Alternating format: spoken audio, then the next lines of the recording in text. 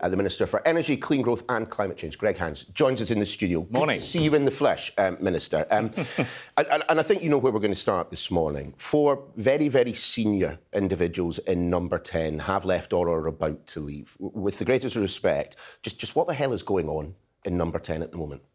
Well, uh, let's not forget that on Monday, the Prime Minister, when responding uh, to the Sue Gray report update, made clear that there would be changes at the top in number 10. Uh, resignations have been made, resignations have been accepted.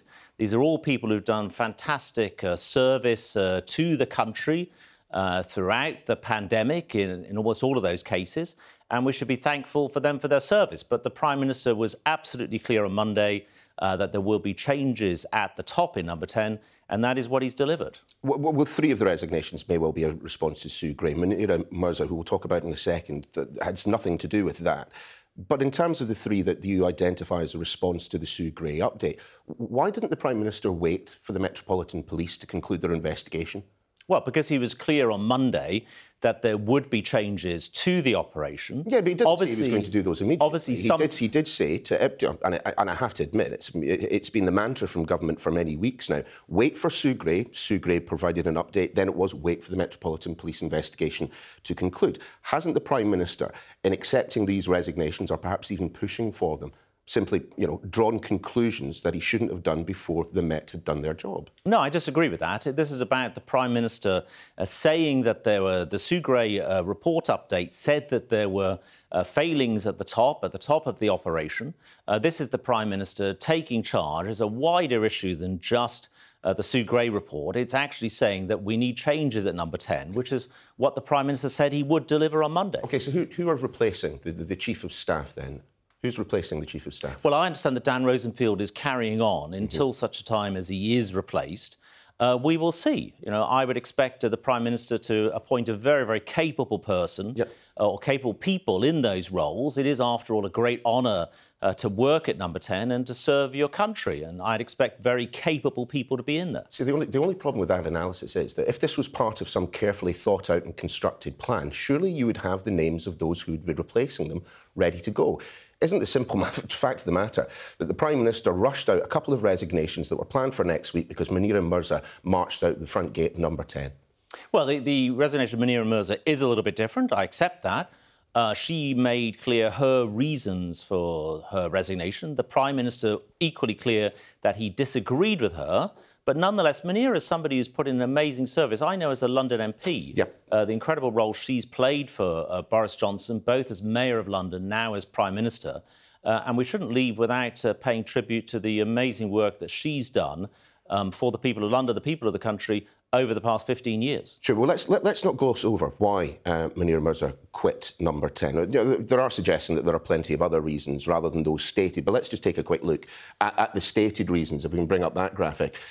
Uh, she says this I believe it was wrong for you to imply this week that Keir Starmer was personally responsible for allowing Jimmy Savile to escape justice. There was no fair or reasonable basis for that assertion. She continues you're a better man than many of your detractors will ever understand, which is why it is so desperately sad that you let yourself down by making a scurrilous accusation against the leader of the opposition. And it's not even not just Munira Mirza who feels that the Prime Minister spoke out of turn uh, in linking Jimmy Savile to Keir Starmer. Here's what the Chancellor had to say uh, on this particular topic yesterday with regard to the comments, uh, in you know, being, being honest, I wouldn't have said it, and I'm glad that the Prime Minister clarified what he meant.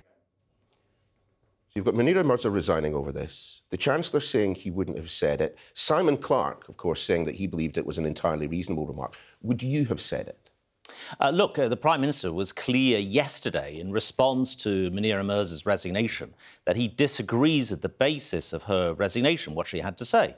The Prime Minister was also clear on Wednesday that he was referring back to the public apology mm-hmm. uh, made by Sir Keir Starmer in, I think it was 2013. And it was all about a wider thing about taking responsibility uh, for an organisation, for sure. the failings within it? an organisation. Would you have said it in the way that the Prime Minister did, protected by parliamentary privileges, uh, privilege at PMQs?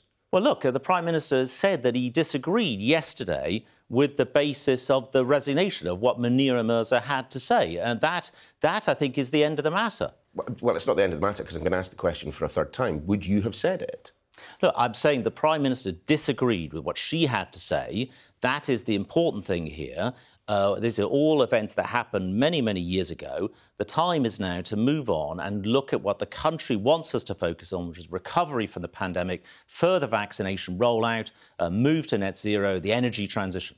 I get, I, I, get the impression I'm not going to make much headway on that particular question. So let's do that, that which you ask and, and, move on to the measures which the Chancellor was announcing yesterday. You know, measures which I'm sure plenty of people will warmly welcome. Extra money as we see the cost of uh, living soar. But let, us just look at a couple of the, the ways in which the, the, Chancellor described the council tax money and the energy uh, cap money yesterday. Let's just have a quick look at what he said yesterday. He said this.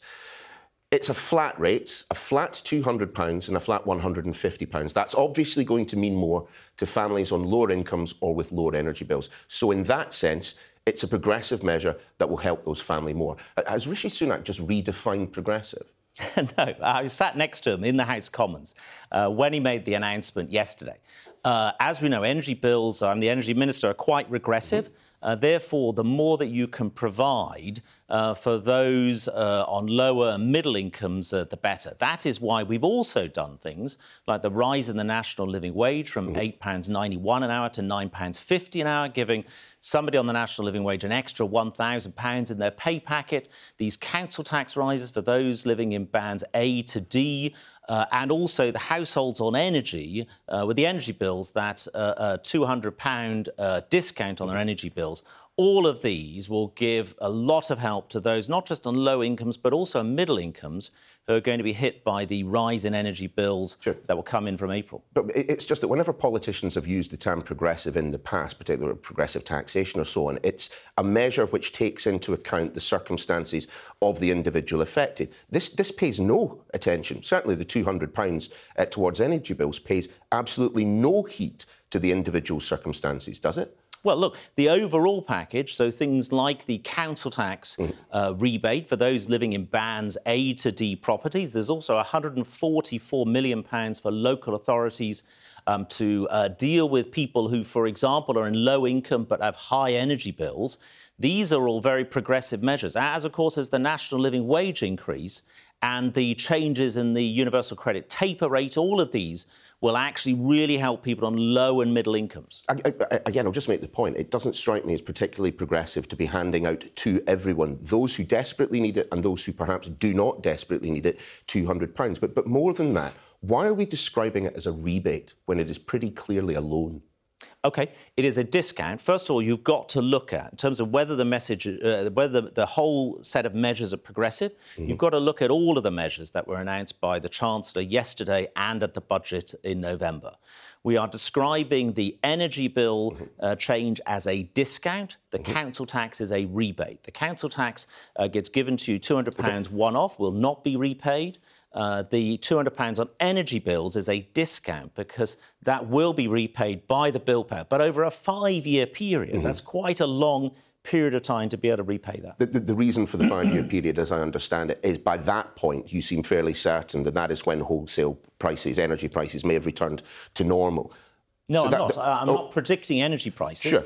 But what we are saying that energy prices have been incredibly volatile. Of course, of course. You know, they're four to five times the average over the last 25 years yeah. at the moment, uh, but they're actually equally half the peak. So energy prices are very volatile. We're not doing a prediction on energy prices. What we are saying is that people need help now, which is why we are giving people the £200 discount, which will come in in October. But it's certainly been mentioned by those in government that 2024 is a point by which you know wholesale the wholesale prices market may well have just calmed down a little bit. That's certainly there's been something that's said. So I'm, I'm wondering, with energy prices expected to remain at high levels for a number of years, is this a one-off? It can't be a one-off, can it? Well, we'll have to see what the decisions of the future in relation mm-hmm. uh, to energy. You're not ruling it out. You're not suggesting that this is a one-off payment and that's it. Look, there may well be future is, assistance. It is my job to make sure the country is prepared on all things related to energy. It's not my job to make, uh, if you like, energy price forecasts uh, for the future.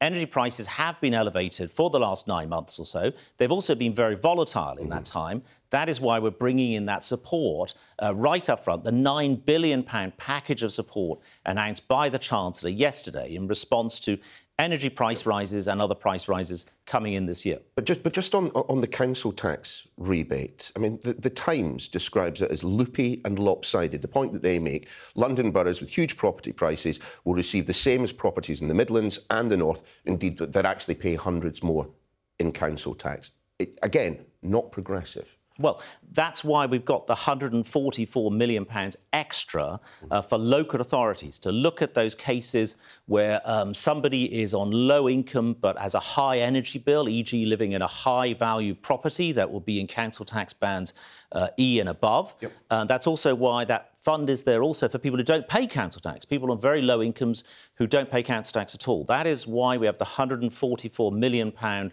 local authority fund. Why does the Prime Minister seemingly not pay any heed to the optics of what he is doing at the moment? I mean, let's just reflect on what happened yesterday. The Bank of England told us that we're in for a record slide in living standards. The, you know, the, the governor of the Bank of England himself on roughly, well, in excess of 500 grand a year tells us all not to ask for big pay rises. On that day, the Prime Minister, to an event in Blackpool, takes a private plane. Well, well, look, uh, I, I, can promise you the Prime Minister travels by train a lot. Uh, I see him on the train. He, he uh, going by train is, is like... The Prime Minister loves trains and buses. I mean, we uh, all kicked off. we all kicked off about Liz Truss taking the plane to Australia. Okay, well, the can't pri- expect us well, kick off about this. Hold on a minute. No, the Prime Minister's had a difficult schedule this week. Don't forget, you know, he's uh, responded to the Sue Gray uh, uh, update on Monday. He's been mm. to the Ukraine on Tuesday. He shaved now, that is a long minutes. distance. He shaved 50 minutes off his journey by he's flying come back, in private jet. Well, hold on, but he's come back on Wednesday to answer Prime Minister's questions in the House of Commons. On Thursday, he's in Blackpool. That is a difficult schedule for anybody at the best minutes, of times. Uh, and I know the Prime Minister, and he is somebody who instinctively loves public transport. That's what I saw when he was Mayor of London. I was one of his MPs in London. He is somebody who loves public transport, but that's been a difficult, you would agree, that's a difficult, challenging schedule this week for him. Minister, great to have you on the programme this morning. Thank Thanks you. for joining us.